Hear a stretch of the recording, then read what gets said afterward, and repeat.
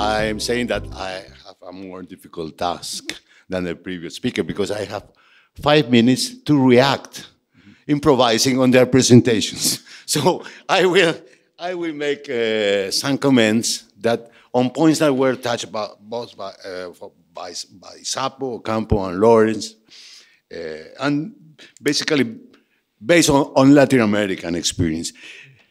30 years ago, in, in, in, in 1985, we were here uh, in a research, one of the first research projects of WIDER, led by, by Gerry Helleiner, which is here, and Lance Taylor, in which Ocampo participated as, as a young researcher, believe it, uh, and also Nora Lustig and other researchers that I present now in, the, in, the, in, this, in this conference. At that time, we were discussing in this project uh, the adjustment of Latin Americans to the debt crisis. It was the first global, uh, international crisis, bigger, the whole region entered into crisis. Uh, in, in, 18, in 1981 and 1982, it was the first crisis of the financial globalization process that were starting at that time.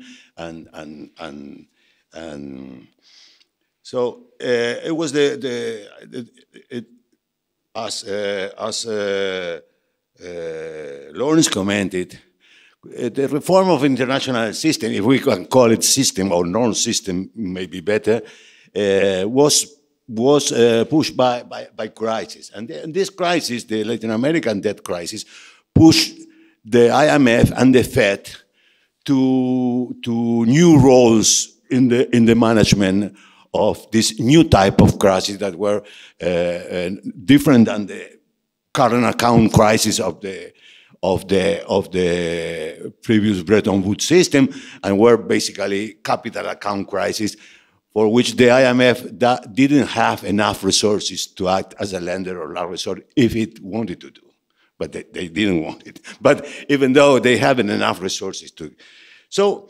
the the period, the 90s was the period of the Washington Consensus in which the Latin, the Latin American uh, countries became highly in debt, and almost all the the big the the main the, the major countries of the region suffer financial and balance of, of payment of balance of payment crisis in the 90s, huge crisis like the Argentine crisis 2000 of uh, 1995, the Mexican crisis of 1995, the Argentine crisis of 2001, another crisis, the Brazilian crisis of 1998. So there was uh, this 30, first 30 years of financial of, of globalization were, were, were, were marked by a succession of crises in emerging market economies. Uh, in the night, in the 2000s, particularly between 2002, 2003, after the Argentine, uh, Uruguay, and Turkey crisis, they, they, were the last crisis suffered by emerging market economies. Latin American countries made, may uh, perform much, much better. Well, everybody knows that in part it was the, the behavior uh, was uh, uh, was uh, the improvement in the behavior of this economy was helped by the by the by the improvement in terms of trade, basically caused by the by the demand of commodities by the Chinese and Indian, but basically Chinese economy, and this. But it wasn't that only. It wasn't that. The countries learn from previous experience, and for instance, they they flexibilize the, the exchange rate systems, the exchange rate regimes, for instance, all the all the crises, all the crises that that that, that, the developing economies suffered during the, during the first 30 years of financial globalization uh, uh, were in situations in which the exchange rate were fixed or quasi-fixed or predetermined. So, and and there was no other crisis in in in the, uh, after the two, in, in the, after the the 90s. In the 2000s, there were no no new crises. Uh, even in the context of the American global financial crisis of 2008, 2000, eh, 2007, 2008. So there were no, there was there were there was not contagion to emerging market economy, which is a very interesting issue. And it in part has to be with this change in the in the in the exchange rate regimes, but also the the Latin American countries on average up to 2008 had a, a relatively depreciated real exchange rate, uh, uh, experienced current account surpluses, except Colombia, the rest of Latin America, of South America, uh, uh show uh, current account uh, surplus results. and accumulated, I was mentioned, accumulated reserve based on these current account results and uh, capital and capital and capital inflows. But there's a problem there in the system, or the no system, that this is a system that lacks of any coordination of exchange rate policies or regimes, and lacks of a, a significant last resort lender. You know? And so even if Latin American countries did better during the, the 2000s, now when the countries are, are, are, are confronting the new situation of declining terms of trade and the immediate possibility of a rise in the international interest rate, uh, the countries found themselves in a situation of very appreciated exchange rate and with the need of, they, they are experiencing huge devaluation that uh, do not found uh, do not find in the economy any tradable sectors that could respond to the to the new stimuli generated by the depreciated, the presently more depreciating exchange rate because they all serve, all these countries suffer Dutch disease, Dutch disease. And uh, the countries, uh, while the IMF push in the end of the, of the 90s, uh, the flexibilization of exchange regimes, the, the doctrine of the institution is a pure floating exchange rate. The exchange uh, uh, inflation targeting, full-fledged inflation targeting means for the IMF a, a pure floating exchange regime.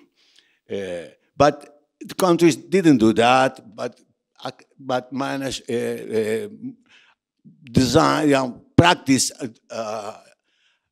uh, a flexible exchange regime, but managed. We call managed, managed exchange rate regimes that uh, allow to, central banks to intervene, to buy in intervention, and this was the main source of accumulating reserves.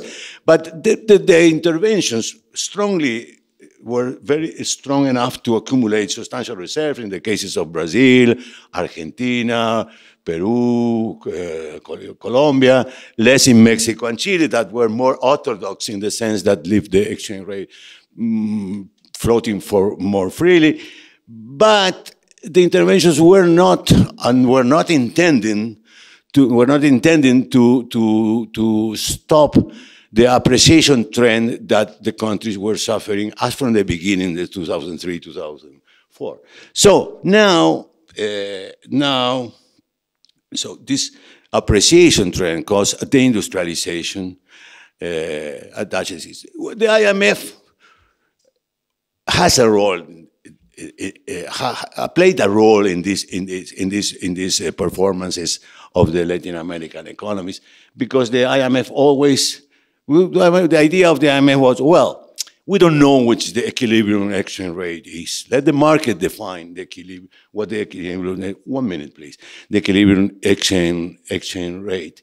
And uh, really, if, if, if we don't know what the equilibrium exchange rate is, a prudent attitude towards monetary policy would have been to preserve some stability of the, of the exchange rate in order to avoid what's going on now, which is huge devaluations that impact inflation and generate recessionary trends without finding, because of previous disease, tradable sectors that could react to the new stimuli generated by the, by the now more depreciated exchange rate. Well, let's continue in the debate. thank you very much. Thank you very much, uh, Roberto, for bringing us back from the stratosphere of international financial to the, to the realities of actually managing these these economies, and it was very, very, very, uh, very useful um, to know. Uh, so perhaps we should have real exchange rate coordination, not just nominal ones, perhaps. Uh, anyway, you're now going to talk to us about the African perspective on this. Thank you, thank you very much, and uh, I'm happy to be here. But of course, I only have uh, 10 minutes to say, uh, to, is, it, is, it five? Oh, when did you change the base? Oh, sorry. okay, fantastic. I'll, they're, I'll given, they're, all given five and take 10. So oh, you took 10, so, yeah, I'll, so took, I'll take 15. no, no. because I've come from, I've come from uh, further, I've come from further away. Anyway, thank you very much, and I'm happy to be here. And of course, sitting here and talking about this issue is always very difficult for me, having I've just um, uh, finished my two terms in the Central Bank of Kenya. Eight years of uh, public service has been quite uh, devastating for me. I'm trying to decompress down. But the most important thing is that some of the issues that have been raised here are very, very pertinent and they are very, uh, very true. But let me make four points. First, I just want, from where I was sitting, um, I've been sitting, and what I've been observing is that uh, domestic financial systems in Africa and even emerging markets have improved. The regulatory capacity and even regulatory technology has improved. And for the last few years, we have seen that even the standard setting bodies have really improved. So not only have we improved domestic uh, capacity for regulation, we have improved the regulatory technology, but also we have recent and we have seen what um, these um, standard setting bodies like uh, Financial Action Task Force or even Basel have done. And of course, that is the point, we're making that point so that I can come to perhaps Laurence's point about what do we need in terms of reforms, because essentially we are not really saying that that technology is actually going to help. We talked about so many things in terms of improving the domestic financial system. Of course, big, too big to fail banks has been quite a big problem. But the most important thing is that we have seen those results. They are quite commendable. The second point, of course, um, when you're talking about that, we also have to talk about what has happened in the last few years, in the couple of years, especially the 30 years, that emerging markets, emerging economies, and even de developing economies have actually managed to access international markets, international financial markets. And for us, this is very important. You can see that in the financial crisis 2008, most countries actually survived because they had accumulated adequate reserves. But that doesn't mean that the demand for reserves is actually really has helped them. But of course, the most important thing is that those countries realize that reserves are going to help them in terms of accessibility of reserves and even saving those reserves are going to help the domestic market. But of course, you can see the turnaround in terms of reserves themselves and reserves management and reserve currencies, what has, it has, what has happened to especially African countries. First, you can see that as we talk today, since 2008, it's actually like we pay to maintain those reserves. Of course, we made our own regulations about you have to invest those reserves in AAA institutions, and those AAA institutions were only to be found mostly in developing countries. But right now, you can see that it's like we pay to keep those reserves in those countries. So you can see that all of a sudden it was a precious vein, then all of a sudden it's turning out to be quite a, a difficult aspect. So essentially, when you talk about international architectural reforms, uh, reforms, it's actually important to look at that because we still think that reserves are very, very important to cushion the markets because let's talk, talk about capital accounts liberalization, we still think that we need to cushion this nascent market. The third point I wanted to talk about is actually development finance, uh, development financing. These are interesting aspects, but there are two dimensions to it. One, one of them is development financial institutions themselves and how they are structured, and the other one is actually access to capital, develop, international development uh, capital. And uh, you can see the wave in Africa, while most of the countries have realized that they can go for sovereign bonds to help roll out public investments, especially to close the infrastructure gap. That is good, but of course, it means that you also have to understand that you have to deal with the, the, that's the third point, I uh, fourth, fourth point I was making. What happens to the future currency and even reserve currencies themselves? Because essentially, that development finance, accessibility to that development finance, accessibility to those resources is going to depend very much in terms of how the reserve currencies behave.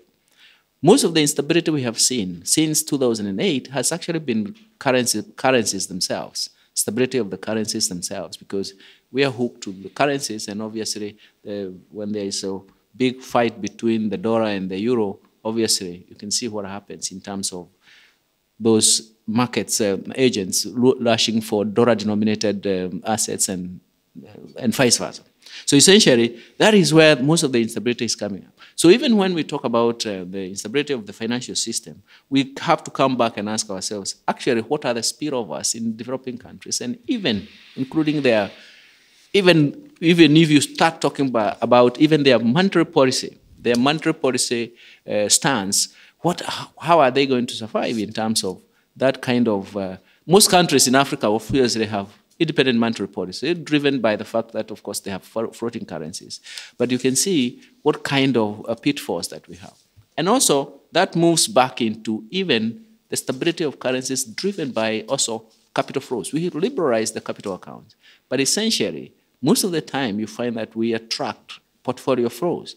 And portfolio flows will always, in necessity, move the nominal exchange rates. And the nominal exchange rates, politi our politicians react very viciously when currencies are depreciating. They tend to have this belief that currencies should actually appreciate, never depreciate. But of course, there's also real threat because currency depreciation also feeds into domestic inflation obviously when there are supply constraints because if you have to import food like i come from the north of uh, the horn of africa where devastating droughts would affect not only food prices but also energy prices at the same time. Then you can see what it means when there's a currency depreciation. It's going to feed straight into inflation. So these are three real threats to domestic uh, uh, financial uh, systems and even monetary policy making. But finally let me of course go back to the issue of we all talk about financial system, domestic financial system. We look at international financial system. But most of the time, we don't make a difference in terms of actually who participates in these financial systems from where we come from, developing countries, especially in Africa. And you'll find that for many years, they were driven by multinational corporates and multinational banks. And then it is all of a sudden, the last perhaps, let me say, 10 years, that we find that domestic financial systems are coming up. They were very inaccessible. There were so many barriers to entry. So all of a sudden, in the last 10 years, we've realized that we can actually create an environment where domestic financial systems can also improve and thrive.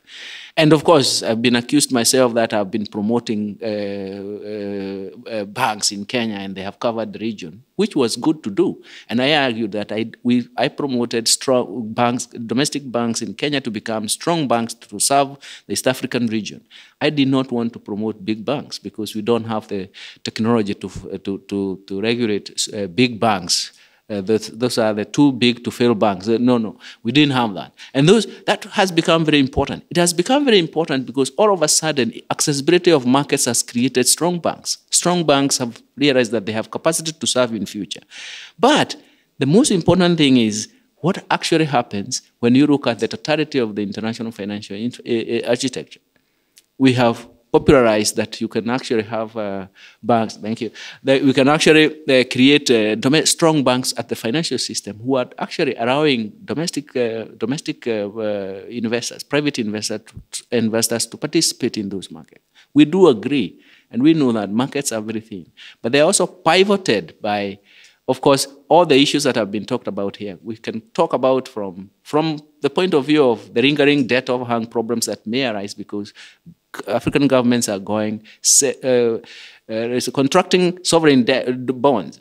Of course, some of them are doing fine because they are rolling out um, huge infrastructure projects that are reducing transactions cost immensely and uh, creating complementarity to private investment and even enhancing profitability of private investors because of transactions cost.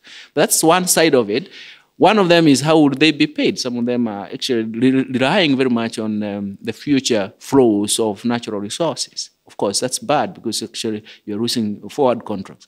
But the most important thing is that so many things have changed they are complementary to the, the, kind of changes that I've, the kind of reforms that I've listened to uh, uh, talking about in terms of international financial system and how we view the regulatory uh, structures in our own domestic economy. And they have to be ascribed to international financial systems. For example, we'll find that the typical IMF program in African countries is actually to give you balance of payment support. And, and you believe that that's going to be the most critical thing because you liberalized your capital markets, but you have not been able to attract uh, capital FDI. What you attract is actually portfolio flows, but you're going to get then sporadic shocks that you can't be uh, cushioned. So essentially, you refuse to deal with the with the, the real disease. You want to be dealing with the symptoms as they come, and that is why we would like to perhaps discuss these issues in terms of reforms. Thank you very much. Very much indeed. I thought it was. Uh, very percipient, particularly this new, the new phenomenon, in sense of an emerging uh, banking system in Africa with a capacity for transnational banking, which I think is very interesting.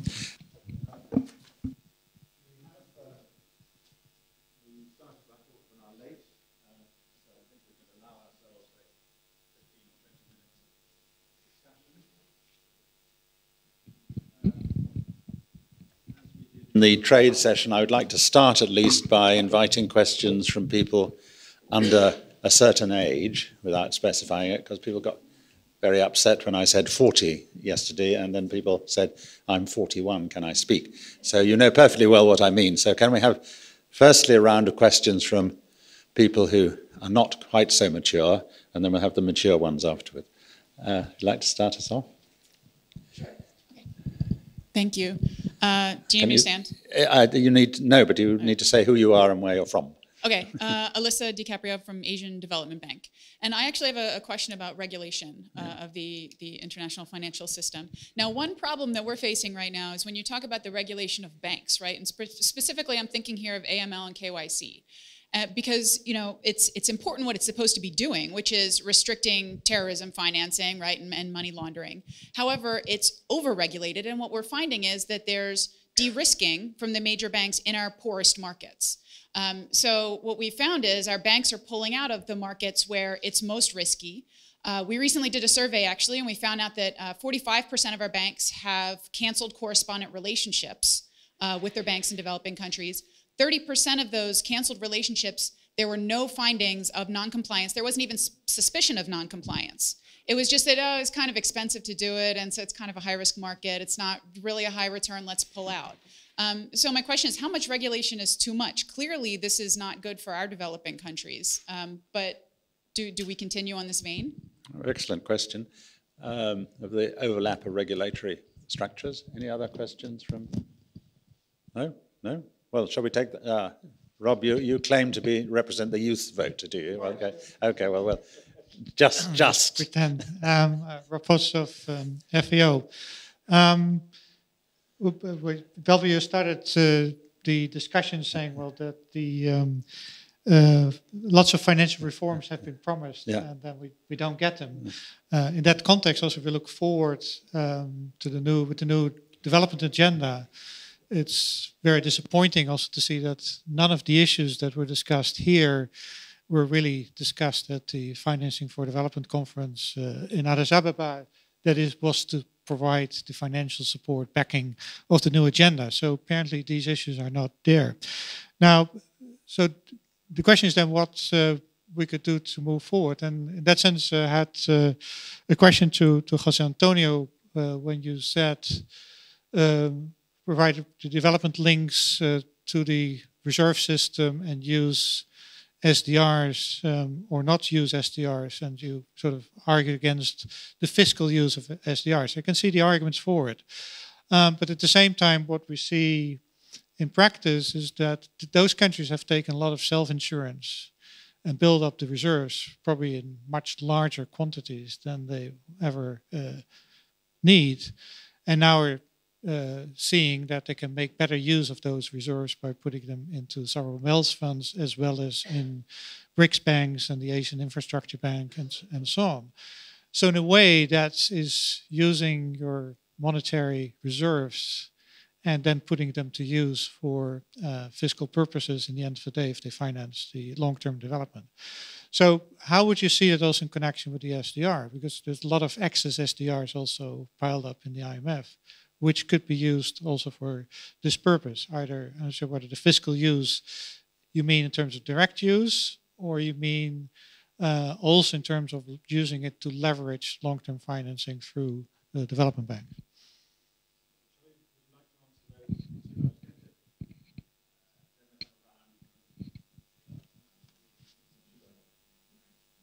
No, uh, well, my uh, invest your reserves or uh, some other financial asset into in into a, a, multilateral development bank, I, I I consider that to be a, a, financial use. So you, you change one form of asset by you know for another form of asset, financial asset. Uh, what what uh, so I think that's that's that's fine. Uh, what I don't so that's why one of my proposals is uh, uh, to allow uh, the excess of SDRs to be invested in in bonds of multilateral development banks, um, you know, of any kind. Let's say. Uh, what I disagree with is the, the, idea that you can actually, you know, for example, developed countries have SDRs and they give them as ODA uh, or as climate finance, uh, well, as you know, to finance climate change programs. I think that is that is a fiscal use Eh, of a of a of a financial asset. Um, eh, so, eh, by the way, Strauss-Kahn was uh, caught by, I think, by surprise with a comment he, he made at one point in one of the um, World Economic Forum of using, you know, you know, SDRs for that purpose, for climate change financing. Uh, and and then uh, of course uh, he had to ask some of the you know technicians of the IMF to explain exactly what he meant. And actually, and actually, they produced a very interesting paper uh, in which they actually made a financial use of the excess SDRs to, you know, for, you know, to subscribe the capital of climate change funds. So that's a financial use. and that paper is actually a quite nice uh, paper. So that's that's my point. That use it financially, don't use it, uh, you know, to spend.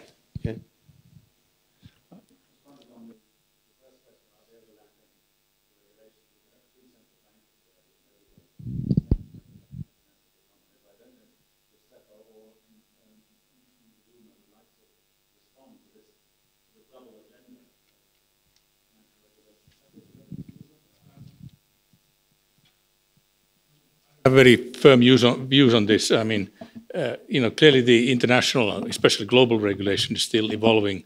Uh, you know, the Basel, Basel, for example, on the on the banks and so forth. So, I, I, I don't have a very firm view at the moment on, on what, what what these issues, but clearly there could be, you know, you know, there are very different kinds of agents in these operating and, and companies operating, so there could be cases of over, over regulation as well. But this thing is still still evolving, so it's it's very difficult to take a stand on that.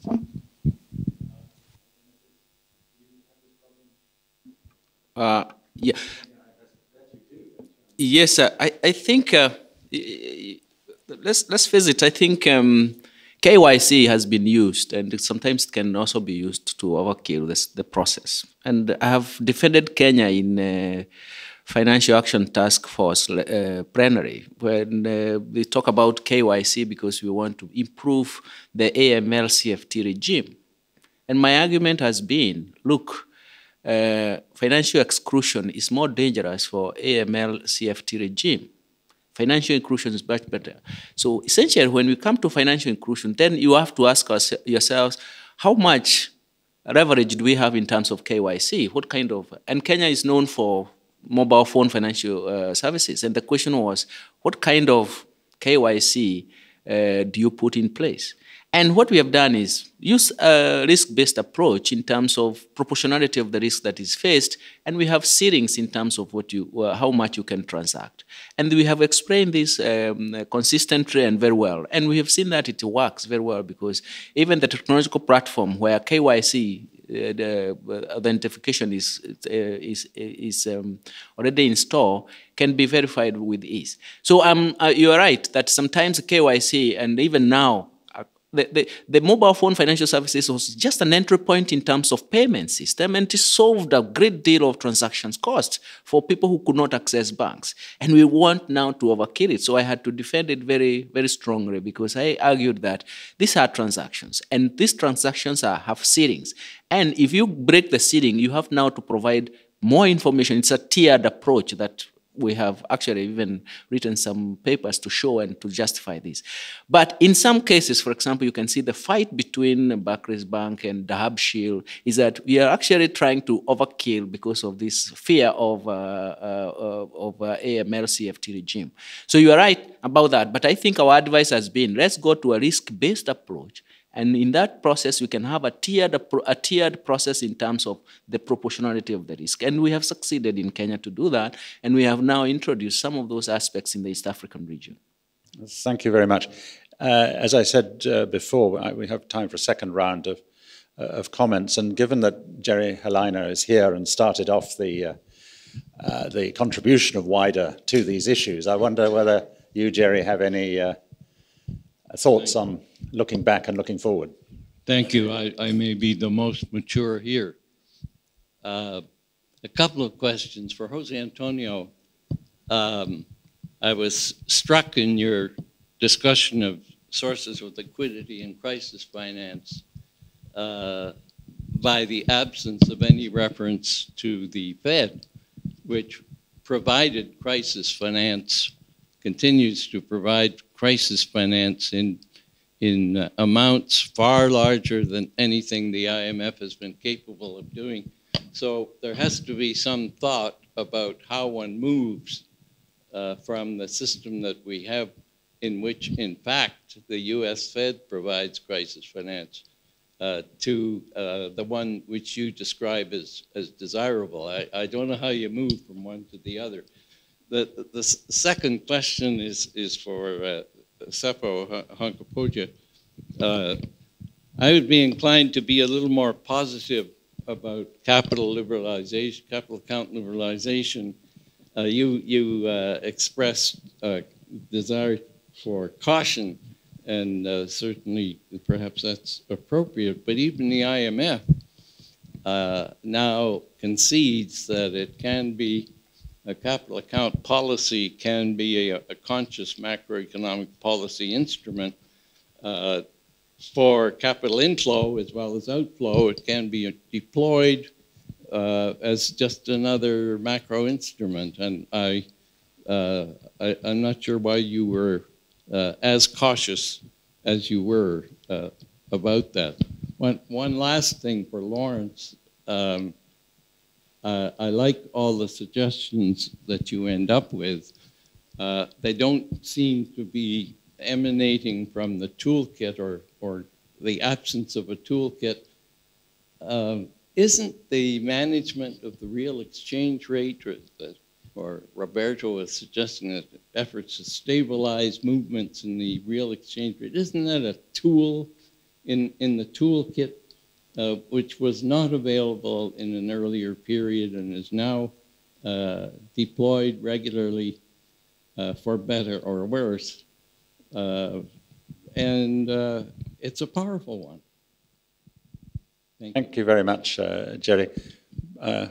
Professor Singh, I think you had some thoughts for us. yeah. Oh, good, excellent, fine. Okay, well, it's very self-denying. It's unique. People actually give up their chance to speak. but did you have something quick, Machiko? Yeah. As quickly as you can.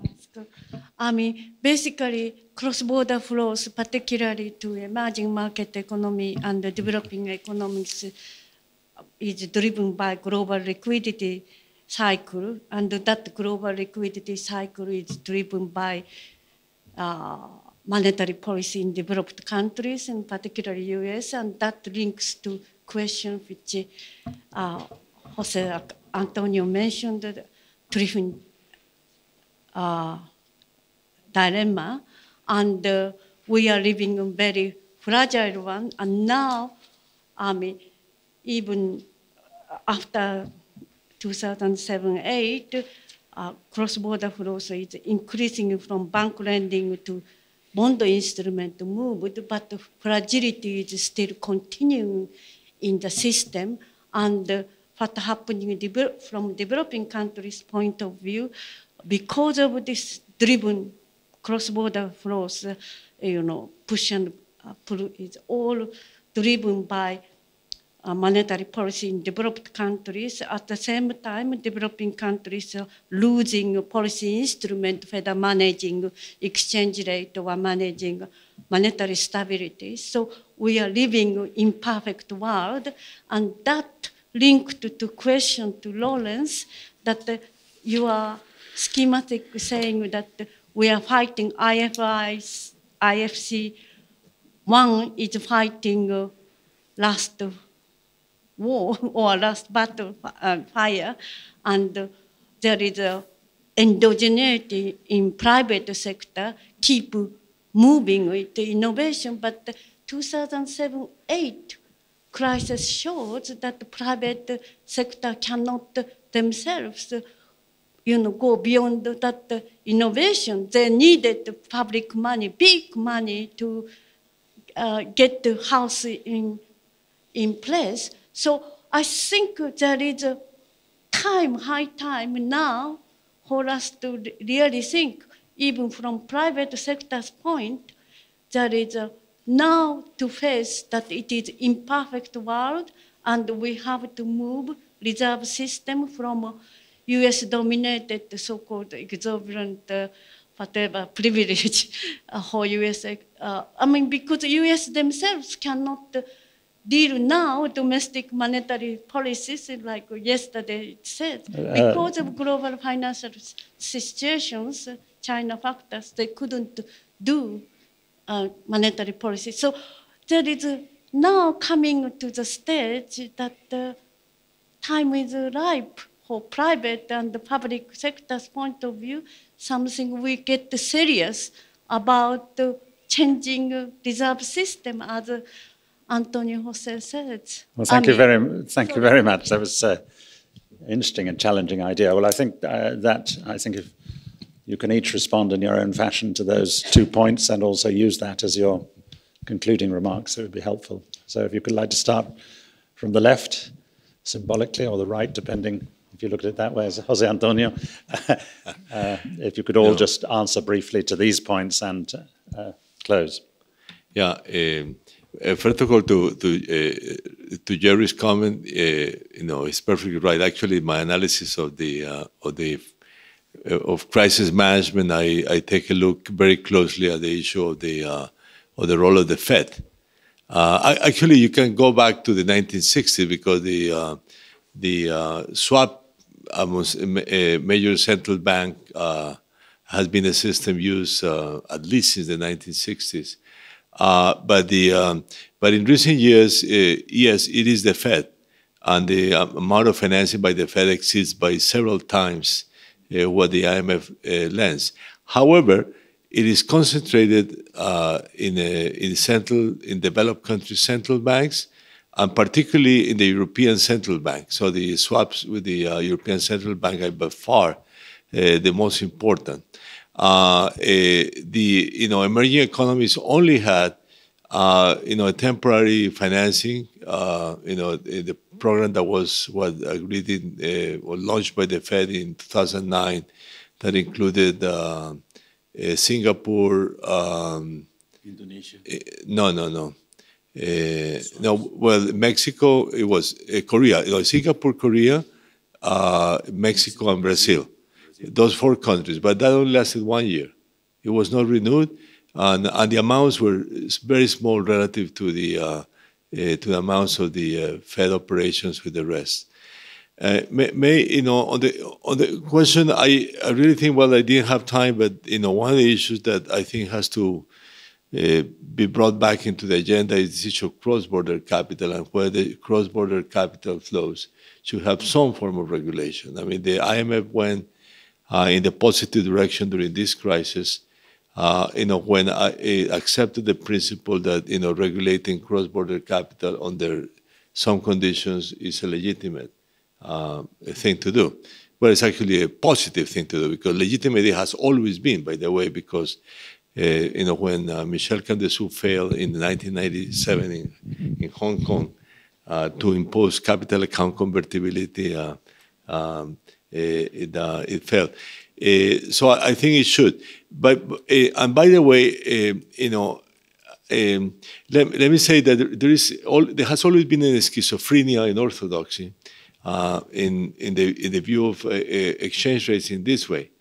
Uh, the, the, way I express it in my national deba debates in, in, my country is that you know we have a very schizophrenic system. You know, we said free trade is the way to go, so export-oriented economy, okay, and then we give to export the most unstable price, the exchange rate. It's very schizophrenic. Uh, and, and, by the way, it's very schizophrenic also at the global level. So th there are two solutions to this. The European solution, which was then, you know, moving to one currency, eliminate the exchange rates. That's one, you know, extreme. And the other is let exchange rate float as, you know, as much as possible.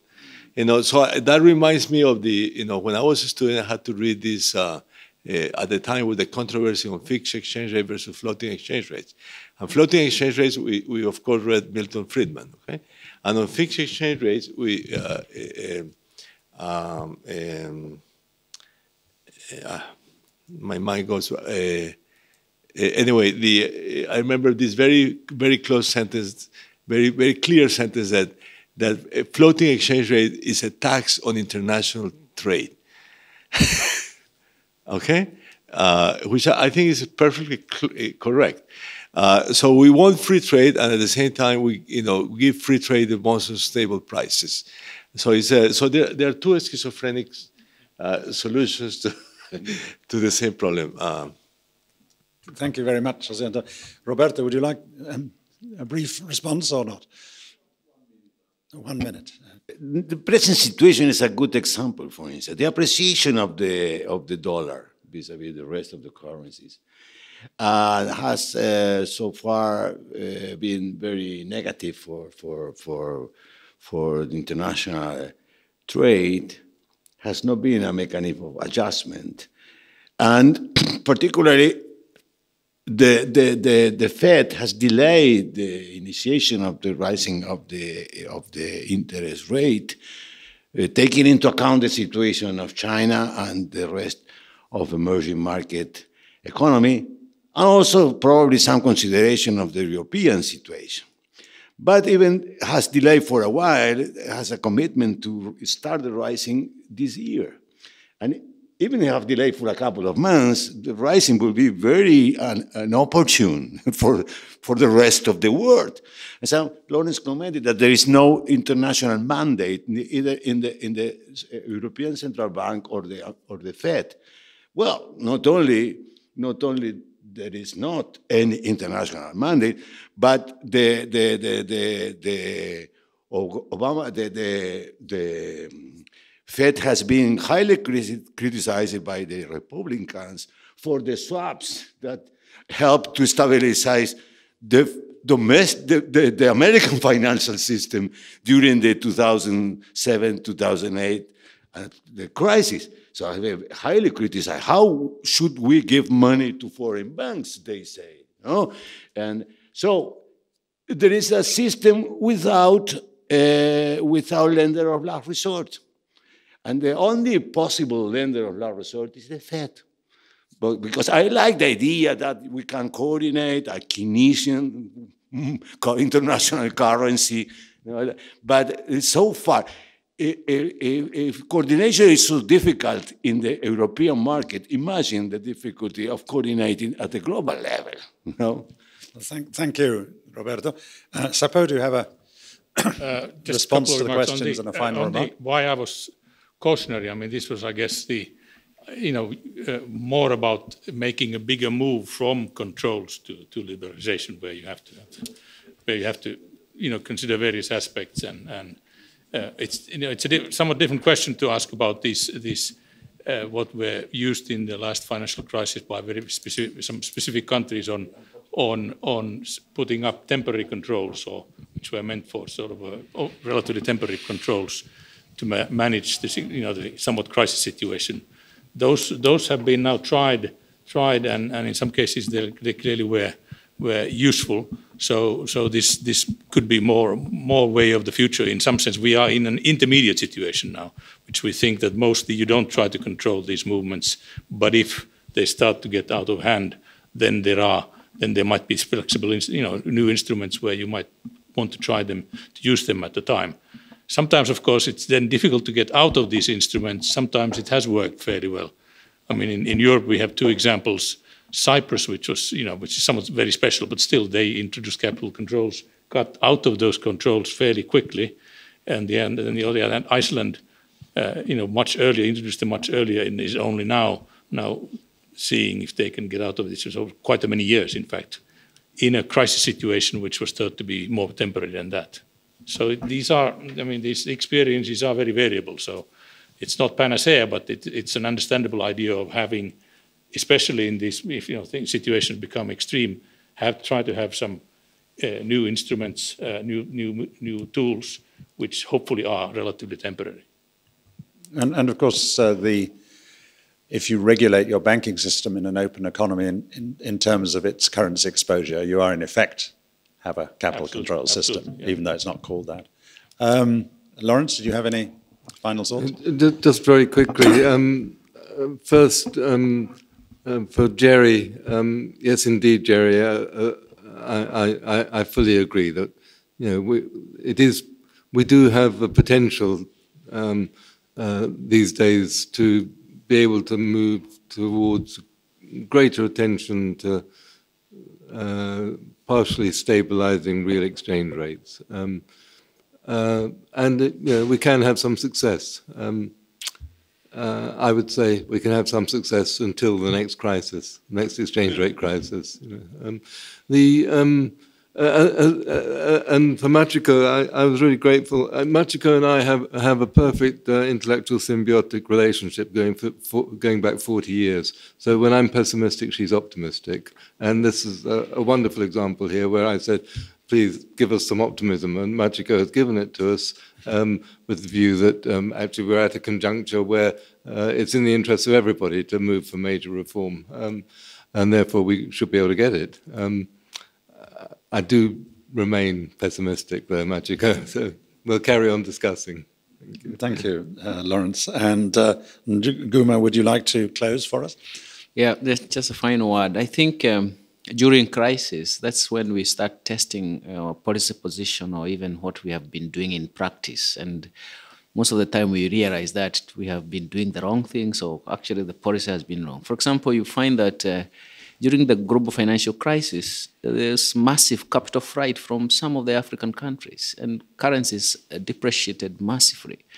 But empirical regularity was that some countries that had some some capital controls had actually more checked uh, depreciations, but doesn't really tell us whether that is time to change policy. But you can see how all, all, of, all of a sudden we have abandoned the debate, but obviously that is what actually happened. But for me, at the end of it all, it's, actually the African countries have to develop strong domestic financial markets. And strong domestic financial markets can only be developed using the, the, the route for perhaps integration, financial integration, and um, the, when once they have strong institutions that uh, uh, preserve or protect the financial integration, we are going to have a clear-cut way of uh, having some policy solutions within those uh, slightly larger markets through integration. Of course, uh, everybody talks about the East African community and looks at the European Union, what is really happening, but we actually argue that perhaps it's the institutions that we require to put in place, which have already been put in place, that are going to help that market in terms of moving in the direction that it wants. But of course, all these uh, issues are quite uh, pertinent and very important for a, policy, for a policy package. Thank you very much. Thank you very much. Well, we'll close. I'd like to thank the speakers on your behalf and to thank them for their tolerance of my attempts to control their speaking times. Thank you very much.